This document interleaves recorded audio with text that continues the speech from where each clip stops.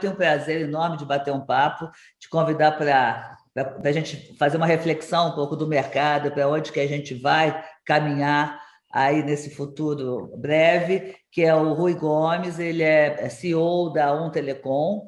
É um prazer enorme, Rui, estar com você aqui para a gente conversar um pouquinho. A Um Telecom, é, acho que todo mundo conhece, mas para quem não conhece, é uma, é uma operadora importante que começou a sua atividade, acho que foi em 2009, né, Rui? Deixa eu me lembrar aqui. 2000, e, 2009. 2009, né? E ela, e ela tem uma atuação em Pernambuco, mas já tem uma, agora já está com uma grande expansão para toda a região Nordeste, Norte, né, Rui? E começou. para o Brasil também, tá? Miriam? Ah, então ótimo. Você vai me falar então sobre o Brasil.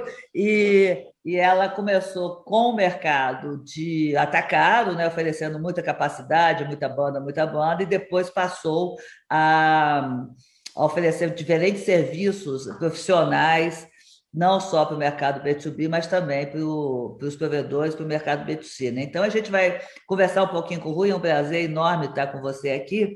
E então, para aproveitando a sua experiência, Rui, eu já queria que você fizesse um pouquinho uma avaliação.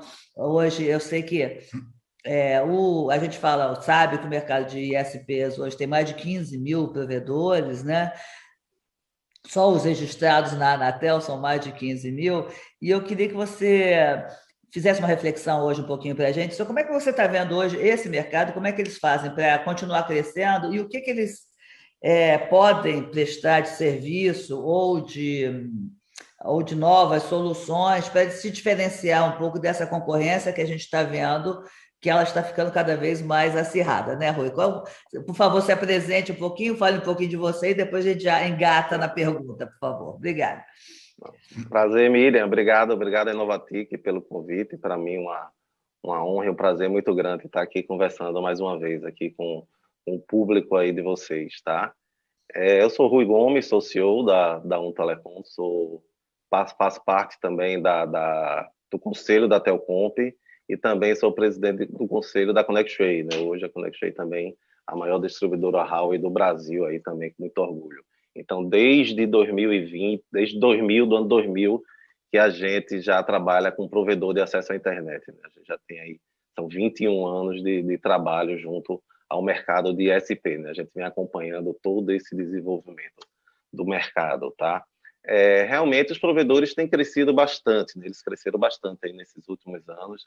É, nós vimos pequenos provedores se tornarem aí grandes empresas né, nacionais de, de, atuação no atendimento aí à banda larga fixa no Brasil acompanharam aí toda a tecnologia de rádio, de cabo, depois de fibra ótica, agora de fibra ótica, tá?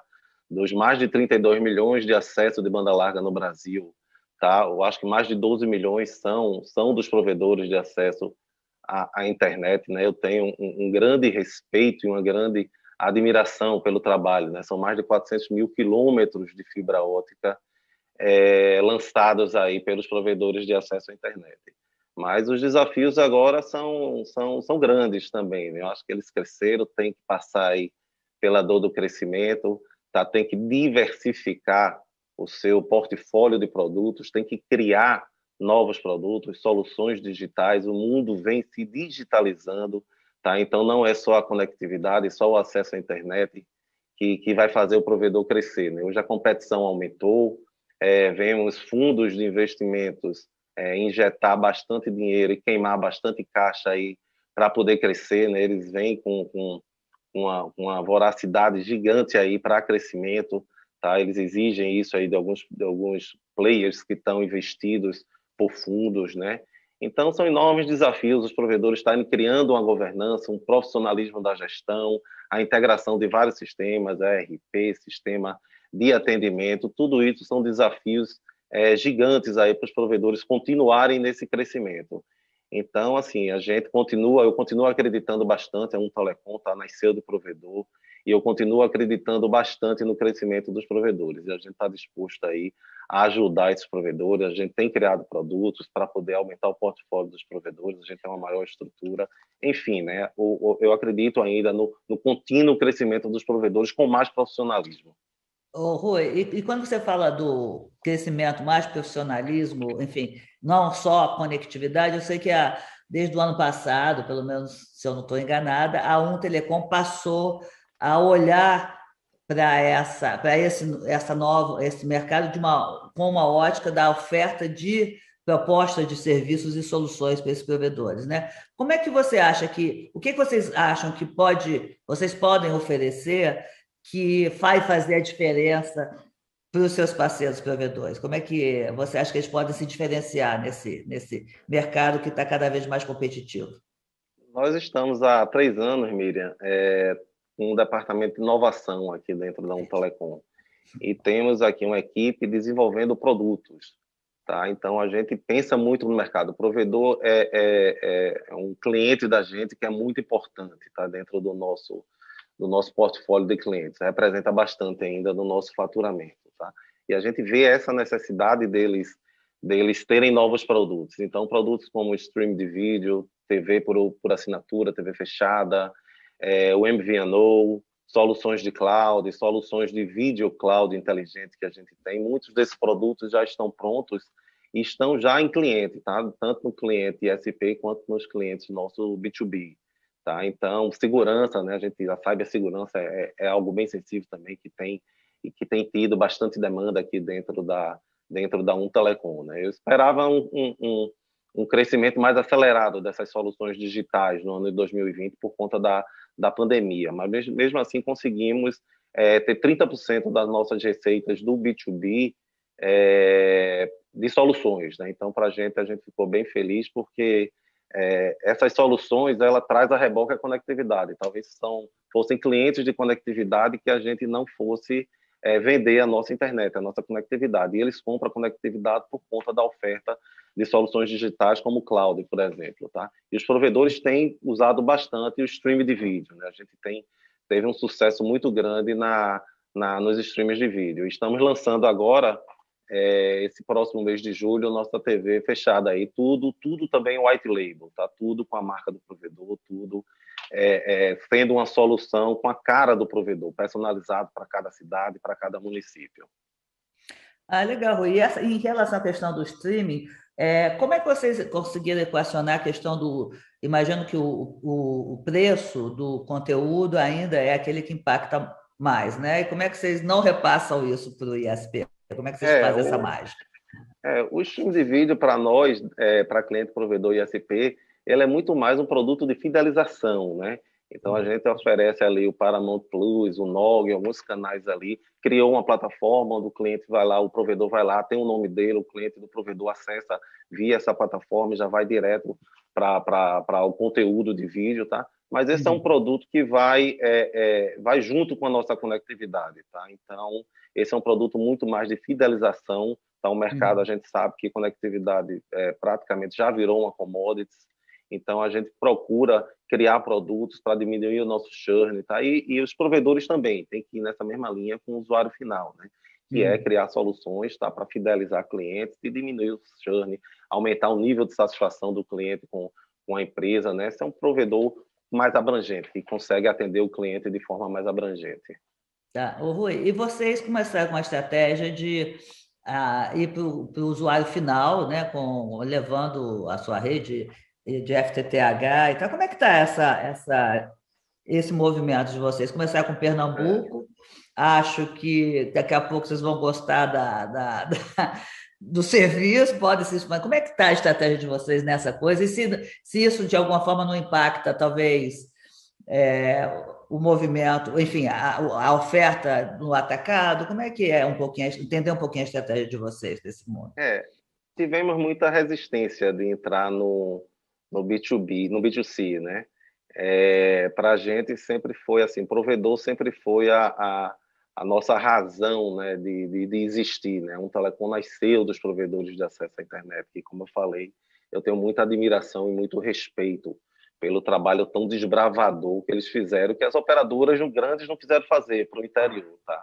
Então, para a gente foi realmente uma, uma, uma decisão de a gente tomar, mas a gente procurou ser cuidadoso, tá? A gente montou praticamente uma startup, né, de B2C, tá? Onde a gente se associa a, ao provedor de acesso à internet. A gente tenta utilizar o que o provedor tem de melhor dele, tá? Que é a sua, por ele ser local, ele tem aquele atendimento, a capacidade de instalação, a capacidade de venda, tá? Muito maior, tá? Então, por ele ser local, a gente acredita que ele agrega muito ao negócio. Então, a gente procura ser sócio, tá? A gente procura dar uma gestão mais profissional, cria uma governança, cria um acordo é, de sócios com ele, onde a gente toma conta da gestão, a gente entra com capital também para poder expandir a rede, a rede GECOM. A gente fez isso no município próximo da Recife, aqui da, da região metropolitana de Recife, e também está com a experiência agora no sertão de Pernambuco, na cidade, na cidade de Salgueiro. E está muito bem sucedido, tá? está muito bem sucedido a operação. A gente faz uma reforma na loja, dá uma cara, dá um profissionalismo maior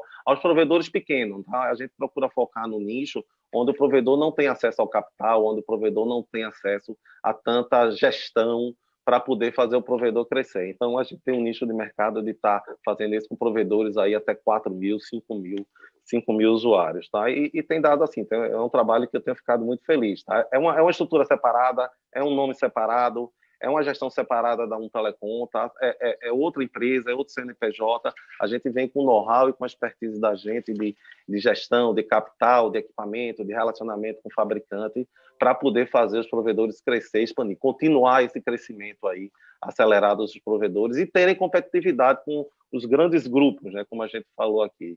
Tem muito dinheiro hoje sendo colocado aí no mercado. A gente sabe que a consolidação do mercado está super acelerada vários fundos aí trabalhando em vários provedores.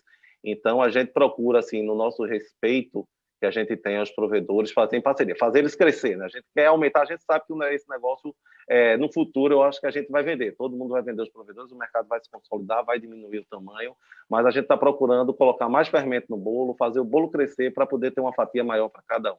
Tá, isso junto com os provedores de acesso à internet. E vocês têm assim, alguma meta, Rui? Vamos vamos querer comprar ou apoiar a estrutura de governança de X linhas até o final do ano, ou isso ainda. Ainda não, não tá gente... daqui a pouco vão, vão ficar te procurando. Eu, eu tenho uma, uma, uma redinha aqui legal para você comprar. A gente tem uma meta assim, tá? Que é nos próximos cinco anos ter, ter mais de 100 mil usuários na nossa rede, tá? A gente tem ah, uma legal. meta assim. Uhum. Tá? Então a gente tem uma meta, tem, é um time separado, é uma pessoa que era nossa aqui, da, que é o Aristides, tá? que ele tomava conta do, do, do ISP, hoje ele está cuidando do B2C, exclusivamente do B2C, junto com um time é. muito bacana, tá? uma pessoa que tem experiência, que tem relacionamento com os provedores, para exatamente manter manter esse respeito, tá? Mas a gente hum. tem uma meta assim, tá? A gente hoje não tem nenhum, nenhum fundo investindo nessa nessa operação, tá? E mesmo que venha algum fundo, eu não vou passar o controle dessa operação, tá? Eu uhum. vou respeitar os provedores. Eu quero que os provedores ganhem ainda mais dinheiro, tá? Eu acredito que ainda há espaço de crescer e deles ganharem ainda mais dinheiro. Mas okay. temos um planejamento estratégico bem montado. Ah, isso, mas, ah, e essa perspectiva das 100 mil é, linhas, usuários, que vai estar debaixo desse guarda-chuva, é só para o estado de Pernambuco ou vocês pretendem também ter uma, uma, uma participação do varejo em outros estados? Não, em outros estados. É. Onde a um telecom tem a rede de, de, de backbone, a gente está criando um modelo de rede neutra, né? que está criando uma, uma, uma, uma, client co e a infraco é, é a rede da, da, da, da um telecom. Tá? Então, a uhum. gente vai para outros estados. Evidentemente, Pernambuco, por ser o nosso, nosso estado, e a gente tem muita rede aqui hoje, para se ter uma ideia, né? Alguns projetos que a gente está junto ao governo e algumas empresas, os 184 municípios de Pernambuco vão ter fibra ótica da Um Telecom já esse ano. Ah, é? Tá? Então a gente vai ter uma facilidade grande aí para conectar torres do 5G, para atender o varejo junto com os uhum. provedores, sempre junto uhum. com os provedores, eu vou enfatizar isso. Tá? Então Pernambuco naturalmente se torna uma, uma, uma, um estado que a gente vai ter mais negócios dentro do B2C. Uhum. Uhum. Rui, e, e fala, você falou aí da rede neutra, né, que é hoje, acho que é o, o grande tema aí do mercado, com as grandes operadoras que finalmente resolveram se mexer para também atender né, esse mercado, já que os provedores estavam aí correndo na frente. É, como é que você vê hoje as rede neutra? Primeiro, das grandes operadoras, se elas são uma ameaça, ou a oportunidade para os, ISPs, e, e, e, como é que você falou que vocês também estão criando a sua cliente co e a sua InfraCo, como é que você analisa os, vocês próprios, grandes operadores, também entrando nesse mundo da rede neutra. Como é que você diferenciaria ou uniria esse mercado? De que forma que ele afetará os provedores de varejo aí? É, é um desafio, né, a rede neutra, né? Criar um modelo Ô, Ricardo, que é, seja, que seja bom. bom. Criar um é modelo seguinte, entrei... que seja bom, que seja bom para entrou aí uma linha cruzada. Criar, criar um é, modelo que seja bom. É, criar um modelo que seja bom para quem está vendendo, para infracool e para quem está comprando, no caso os SPs, a rede neutra, eu acho que é um grande desafio, tá? Num passado recente, De, de, do começo dos provedores, onde a gente usava praticamente, tinha um modelo de rede neutra, onde usava a telefonia da, das operadoras para se vender o acesso à internet, né? O provedor só vendia o acesso, foi um modelo que não deu certo, né? Deixou os provedores aí muito dependentes e deixou os provedores aí muito limitados de crescimento, tanto que os provedores tiveram a necessidade de criar suas próprias redes, né? Começaram com rádio 2.4, rádio 5.8, cabo Ethernet, tá? E migraram para fibra, tá?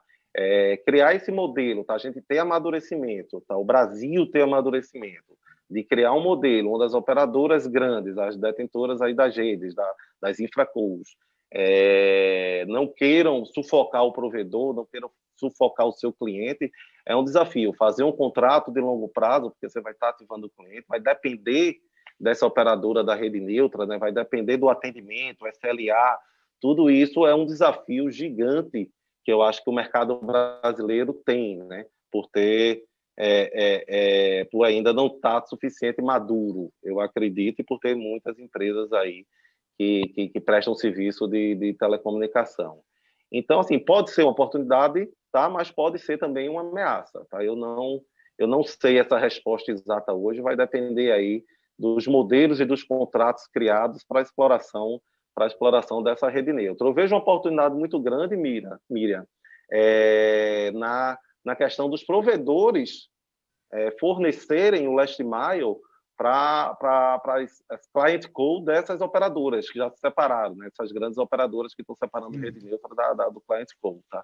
Então, hoje eu vejo uma oportunidade gigante nesses 400 mil quilômetros de rede que os provedores criaram pelo Brasil, de a gente fornecer infraestrutura de conectividade e capacidade para essas client code das operadoras. Isso hoje vem acontecendo dentro da Umtelecom. A gente vem sendo bastante demandado aí por operadoras grandes para fazer o last mile aqui pelo, pelo interior do estado. Então, também eu vejo como oportunidade nesse, nessa, nesse prisma, né? nessa, nessa visualização onde a gente pode fornecer o last mile. Ah, Aí também usar o last mile. É. é. uma ótica que eu não, não tinha visto ainda, né? Você fazer o, o verso, em vez do vice-versa, o verso, que é o é, provedor. Legal. Porque a cliente call, que é a dona do cliente, vai querer ativar o cliente, tá? E às vezes uma infracall vai ter uma, uma, uma, demora muito maior. A gente sabe que o provedor é mais ágil, né? Então, vai ativar, tem 300 pontos de um cliente para ativar. Então, a, a, a, o provedor vai ser muito mais rápido, vai ativar isso em 15, 20 dias. Talvez seja uma oportunidade bacana a rede neutra, porque vai separar o cliente da grande operadora da infraestrutura, né? Então, a gente vai poder atender esse cliente que hoje tem uma dificuldade maior. Ok. Rui, nosso tempinho já está terminando, mas eu não posso deixar já, de perguntar. Miriam. Já? Passa rápido demais. Não posso deixar de perguntar. E o 5G? Como é que você avalia? Se, como é que você avalia isso para os ISPs? E, óbvio, para o Telecom, estou doida para saber se vocês vão. Se você pode anunciar se vocês vão para algum lugar uhum. ou comprar alguma coisa, por favor. O 5G é uma grande oportunidade. Né? A Anatel ela, ela fez o edital aí, é, esperando a, a participação do, dos ISP, das PPP, né, das prestadoras de pequeno porte, tá? Temos frequências aí de 2.3, 3,5 e de 26 GHz, tá? Que temos capacidade de entrar, tá? Eu acho que os provedores têm que se juntar, têm que ir no modelo de consórcio, tá? É, principalmente 3,5, que existem obrigações aí é, até 2029, tá, de ativação do, do 5G, até 2026, de ativação dos backbones, aí 10 gigas nos municípios abaixo de 30 mil habitantes, e o 26, o FWA, né, eu acho que é a grande oportunidade para os provedores. Eu acho que essa, o provedor não pode ficar de fora. Essa eu vou participar do edital, tá? Eu, eu procuro é, é formar um consórcio também, a gente pode formar um consórcio para o 26, eu vou sozinho, tá? mas o 26 ela é totalmente complementar à fibra ótica, tá? é uma tecnologia tá? para cidades adensadas, tá? vai ser uma tecnologia que a gente vai ter muito mais é, velocidade de ativar um cliente, que a gente vai ter lá a NR, né, que é a ERB, é, pronta para só colocar uma CPE e ativar um cliente, vai dar velocidade, vai dar baixa latência, tá? E o 5G é a evolução da conectividade, tá? O 5G, eu acredito que os provedores que não estiverem olhando vão ficar de fora do mercado assim nos próximos cinco anos. Eu acredito que é mandatório a gente está olhando o 5G. Quem não estiver olhando, quem estiver nos assistindo aí não estiver olhando, procure é, estudar o edital, procure ver os grupos que estão sendo formados para exploração das frequências do 5G.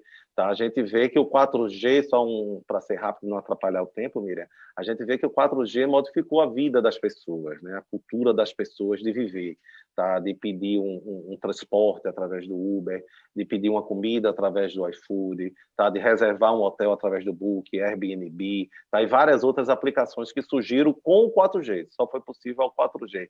Imagina a quantidade de aplicações que o 5G não vai trazer, com latência maior, menor, é, maior é, é, disponibilidade de capacidade de rede, veículos autônomos, são várias soluções de aplicações que a gente nem sabe que existe, que vão existir. Então a gente tem que estar de dentro do 5G, nem que seja para interligar as torres, tá? porque a gente vai precisar. O 5G não funciona sem fibra ótica. A gente tem que ter conectividade de fibra nas torres, tá? Em todas as antenas vai ter que ter uma fibra chegando. Então, esses 400 mil quilômetros de rede de fibra ótica também vai servir bastante para poder é, é, o 5G explorar dessa rede de fibra ótica. Tá? Então, o 5G a gente tem que estar tá dentro e a Anatel espera isso.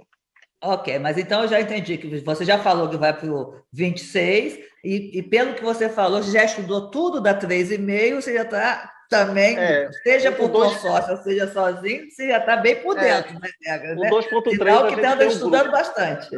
O 2.3 e o 3,5 a gente tem um grupo tá formado, tá? que a gente quer formar um consórcio, a gente quer tá fazendo um, um, um BP, um business plan, para poder viabilizar o negócio e ver se a gente consegue participar. Existem obrigações de investimento, tá? É, uhum. é, é, é mais complexo aí a questão do do 2.3 e 3,5. Mas estamos, sim, num grupo, estudando para se formar um consórcio e a gente também poder explorar essa frequência. Ok. Rui, olha, eu, eu tinha mais uma perguntinha para você, mas o nosso tempo todo, mas eu vou fa fazer. No ano passado, a gente ouviu muito em relação à questão da pandemia, de que houve um aumento de consumo, todo mundo comemorou 50%, 60% de consumo de banda, de mudança de comportamento. Eu queria saber, esse ano, que continua tudo muito confuso, pelo menos né? a, a vacina não anda, o, enfim, estamos todos em home office ainda. Como é que está o comportamento do, do consumo de dados? Tem aumentado? Está do mesmo coisa do ano passado? Como é que está essa, essa, essa é. questão? O consumo de dados sempre aumenta, tá? A gente não tem aumentado na mesma velocidade do ano passado, esses 40, 50, 60%, até 70% que falaram de uhum. aumento. Tá? A gente não tem aumentado, a gente tem aumentado, a gente tem investido bastante na nossa rede, a gente está com necessidade, já investiu mais de 15 milhões de reais esse ano na, na nossa rede, temos mais é, seis meses, tá? A gente já investiu 15, tem mais 30 milhões projetados para investir esse ano, aumentando capacidade de DW existindo, criando novas redes de DWDM por toda a região do Nordeste, a rede da 1 vai do Piauí à Bahia, tá? Então, a gente tem investido bastante em capacidade. Existem projetos de cabo submarino para o Nordeste, tá? Então, tem muita coisa acontecendo para aumentar essa capacidade. A capacidade sempre vai aumentar, né? Hoje, existem várias pesquisas aí que hoje a gente tem 100, 200 é, megas na, na, na nossas residências, né? E no futuro, daqui a três anos, quatro anos, vai necessidade de um giga pelas aplicações que estão surgindo.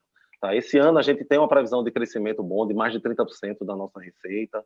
Tá? Então, isso vai precisar de rede. A gente continua investindo em rede. Rede tem se mostrado muito muito bom para vender soluções digital, né? A tese da gente vem se confirmando que, que é uma plataforma, a nossa infraestrutura de rede é uma plataforma para vender soluções digitais, isso é muito bacana também, agrega bastante para a gente vender soluções digital. Então a rede sempre continua crescendo. Esse ano a gente ainda continua crescendo, não na mesma velocidade do ano passado, é. mas a gente uhum. continua crescendo o nosso consumo de dados sim dos nossos clientes. Ok, Rui, ó, muito obrigada, adorei ter, bater essa, esse papo com você. Pena que é, o tempo é pouco, passa rápido, né? Mas assim, acho que é muito legal para a gente entender para como é que é a estratégia da Um Telecom, para onde vocês estão indo, e agradeço muito a atenção e já já peço então para você já desligar a sua câmera, dar um tchauzinho para a gente. Tchau, galera. Obrigado, Miriam. Obrigado.